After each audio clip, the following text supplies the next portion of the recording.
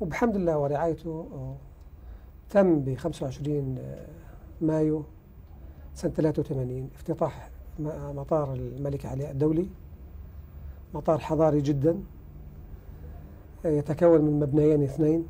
كل مبنى فيه ست آه، بوابات تصل مباشرة إلى الطائرة من خلال جسور آه، في كافة الوسائل الحضارية والوسائل الملاحية مدرجين اثنين. من أحسن ال- المدرجات اللي موجودة في المطارات العالمية وحسب المواصفات العالمية. يوجد فيه آه، سوق حرة. يوجد فيه مباني آه، ومكاتب لشركات الطيران الأخرى. يوجد فيه الآن ثلاث هناجر آه، لعمل للصيانة.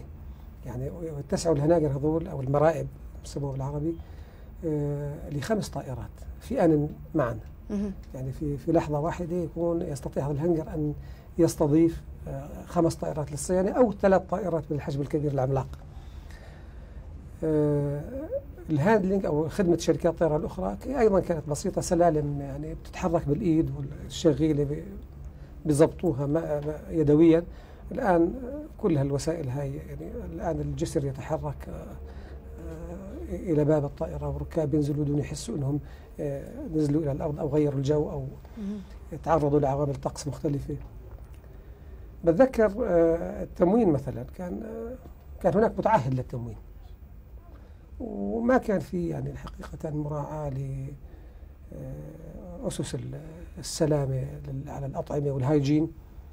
والملكية الأردنية كان عندها قسم صغير جدا يعني يدوب يكفي حاجة الملكية الأردنية لطائراتها البسيطة لرحلاتها القليلة.